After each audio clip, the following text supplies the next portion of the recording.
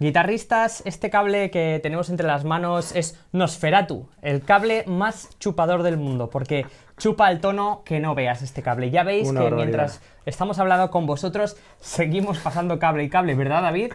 Sí, te queda, queda un rato, ¿eh? De cable. David, estoy encantado de que hayas venido hoy a ayudarme a descubrir algo sobre los buffers, los buffers.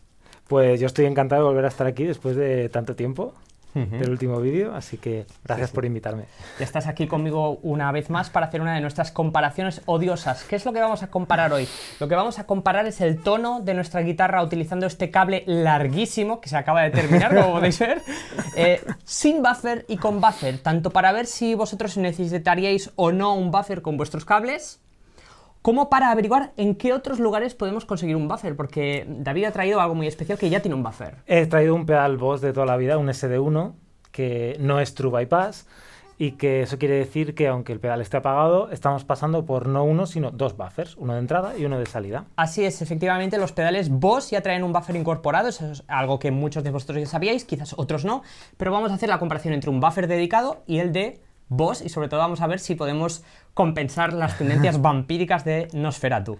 Bueno amigos, pues vamos a ello. ¿Estás listo, David? Estamos listos. Vale, lo que vamos a empezar es esto que tengo aquí, estos dos extremos de jack, son los extremos de Nosferatu, nuestro cable chupador, ¿de acuerdo? De momento no está incorporado, porque lo que quiero que veáis es la diferencia, ahora va a tocar David, y vais a poder notar la diferencia a tener solo lo que tenemos aquí montado y tener a Nosferatu. Por cierto, esto que tenemos aquí montado es un sistema para poder sacar remotamente con este botón el buffer, lo vais a ver enseguida. Pero de momento vamos a escuchar el tono de la guitarra sin Nosferatu.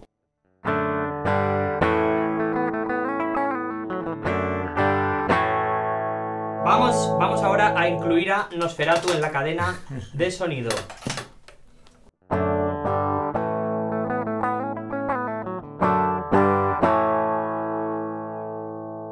David, yo creo que clarísimamente el tono inicial no era tan brillante como estar tocando directamente a un ampli, obviamente. Exacto. Pero desde luego que cuando hemos incluido a Nosferatu ha bajado mucho el brillo.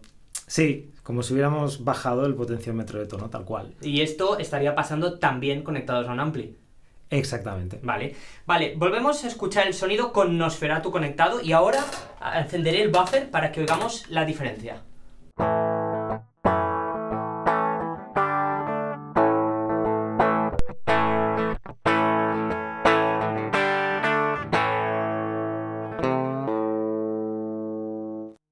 Curioso porque, aunque, insisto, no estamos conectados a un ampli, sino que estamos yendo directos a línea para escucharlo todo con los menos agentes externos posible, solo por poner el buffer ya nos hemos acercado un poco al carácter ampli, ¿no?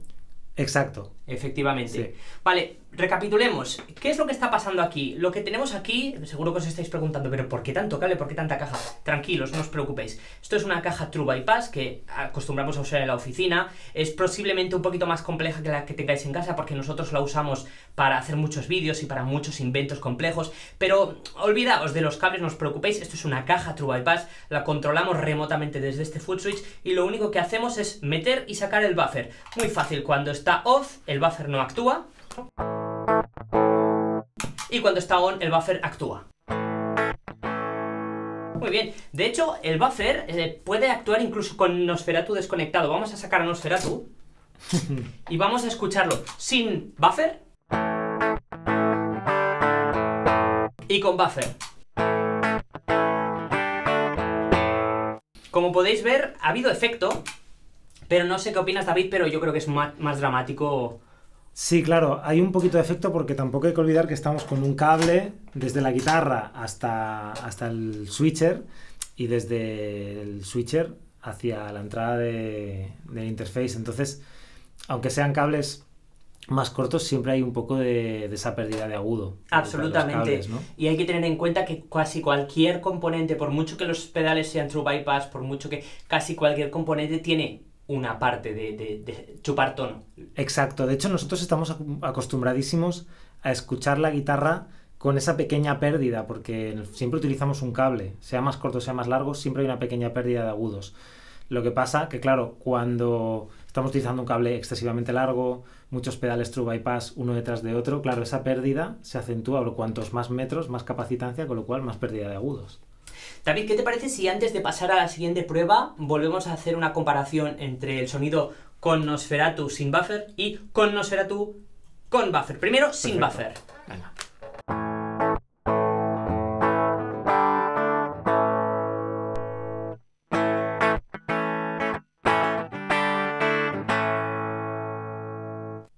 Bien chicos, ahora lo que vamos a hacer es eh, poner a prueba otro tipo de buffer. Y estoy acercando aquí un pedal Boss que ha traído David, porque como muchos sabéis, los pedales Boss tienen su buffer, ¿verdad David? Exacto, llevan un, un buffer JFET, si no me equivoco, que llevan el tipo de switching que se, que se llama flip-flop, que es el que llevan pues, los tube screamers, todos los Boss, etcétera, etcétera. Eh, entonces tenemos un buffer de entrada al pedal y un buffer de salida, que como no es true bypass, siempre están funcionando. O sea que, aunque el pedal esté apagado, estamos pasando por un buffer de entrada y un buffer de salida.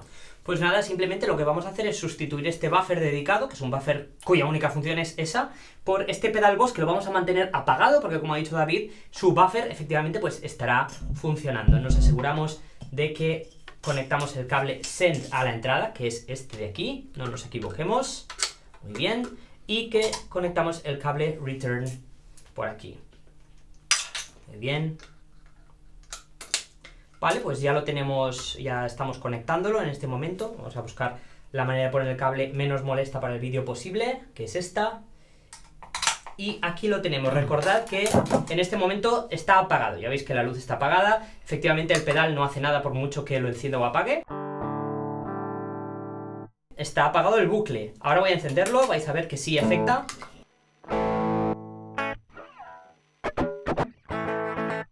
Pues vamos a, sin más, comprobar la señal de I, es decir, la señal limpia de la guitarra, que hemos estado usando todo el rato, sin el buffer del boss y con el buffer del boss. Primero, sin.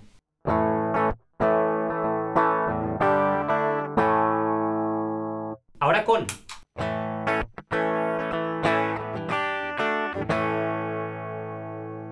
Muy interesante. Exacto. Sí, tenemos, bueno, recuperamos esos agudos porque al fin y al cabo independientemente de que no sea un buffer dedicado, es decir, que, que, sea un buffer que está incluido en un pedal que hace otra cosa, al fin y al cabo es un buffer, es decir, baja la, la impedancia de salida después del pedal, con lo cual tenemos menos pérdida de agudos.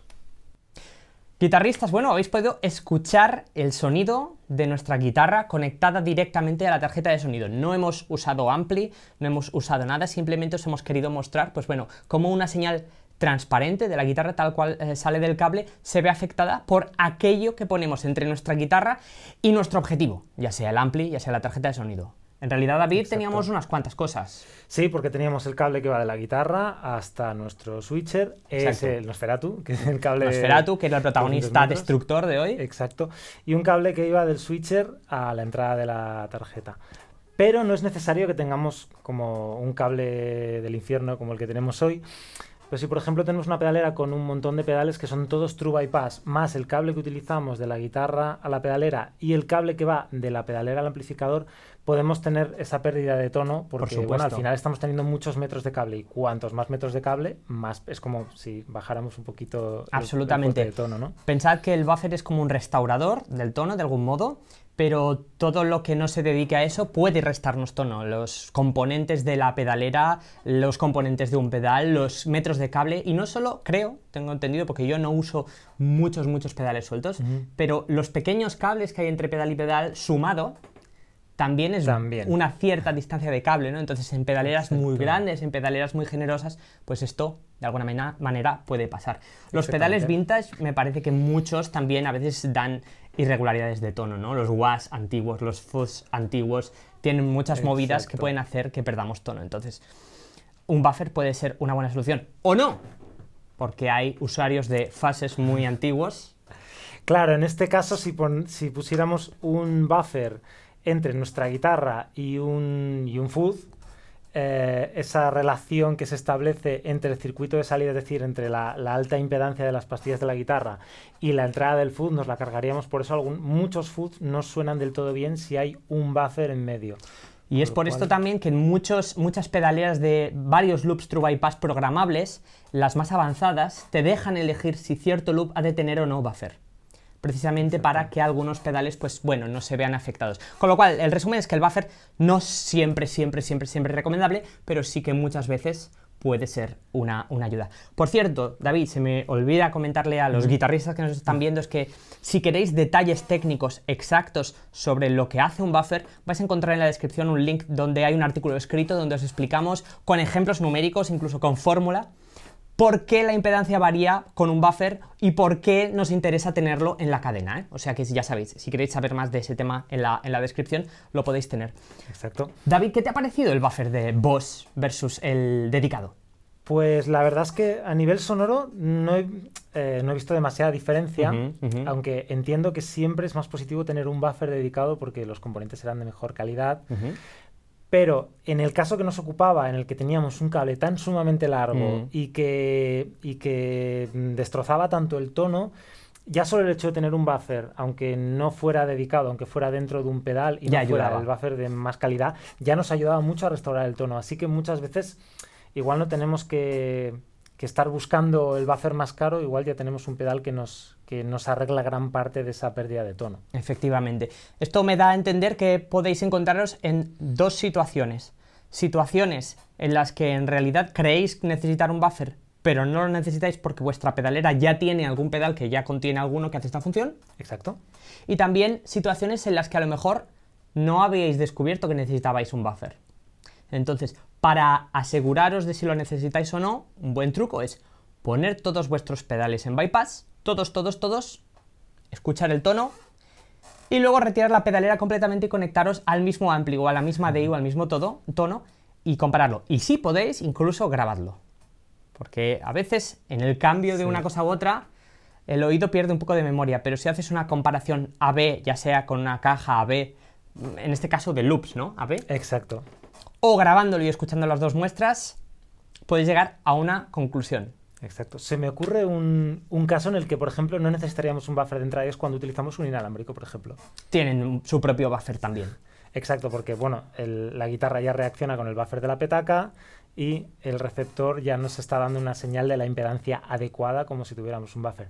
De hecho, los inalámbricos de Line 6 Ujú. eh, se me ocurre que tienen esta función de- del tono del cable Sí. porque realmente como son tan transparentes no estamos acostumbrados a escuchar la guitarra con tan poca pérdida de agudos porque siempre utilizamos un cable. Efectivamente. Sí, seguramente los ingenieros debían decir, bueno, aquí estamos restándole una parte real que el cable está aportando realmente. Y aún se me ocurre Exacto. otro caso en el que no es común utilizar un buffer y es cuando utilizamos algo mucho más complejo como un multiefectos. Los multiefectos suelen ser cajas Exacto. ya diseñadas para conectar la guitarra y lo que sale de allí es un producto terminado. No es necesario que lo completes con otras cosas a menos que quieras. ¿eh? Pero en el caso particular del buffer no hay casi nadie que ponga un buffer antes de, de un multiefectos, a menos que sea porque tiene un cable muy largo hasta llegar a él.